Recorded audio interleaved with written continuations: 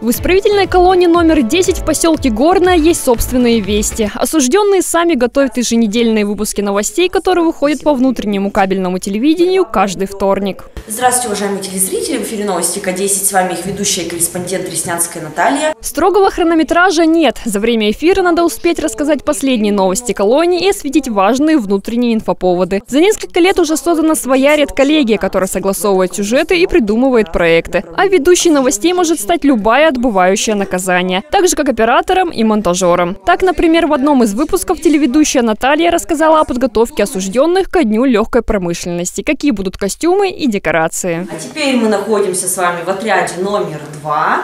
И давайте узнаем, что за картина у них и какие декорации они подготовили. Здравствуйте. Здравствуйте. Можете немного рассказать, почему именно такая декорация, что вообще у вас за сцена и кто делал в сюжетах есть все, что нужно – синхроны, лайфы, стендапы и закадровый текст. Также на плацу проходят репетиции общего танца. В этом году наши модели будут танцевать прекрасный и довольно-таки сложный танец кадриль.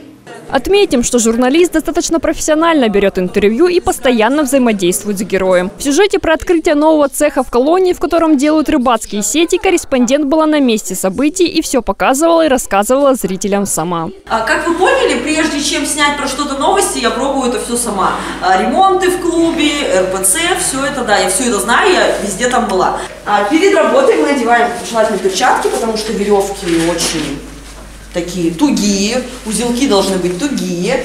А, смотрите, тут тоже все не так просто. Мы отсчитываем 6 окошечек от шва.